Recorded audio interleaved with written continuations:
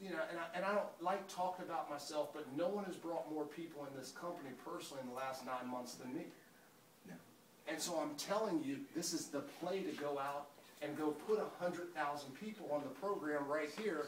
It's just challenge them. If you know them well, challenge them directly.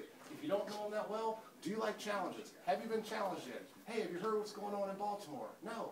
Listen, a group of us have come together to challenge a thousand people this year to drop 10 pounds so that 30,000 meals can be donated to kids.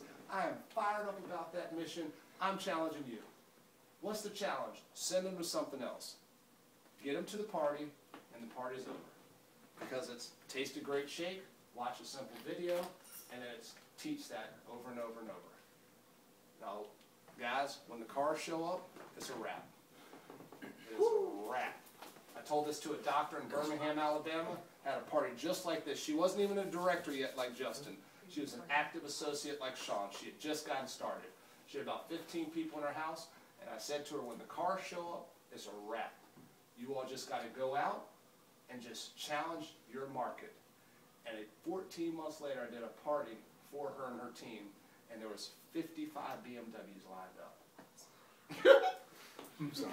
Do you know what happens when you line them up the right way and every guest has to walk past 55 BMWs into the mm. party? Don't put balloons on 'em. Don't put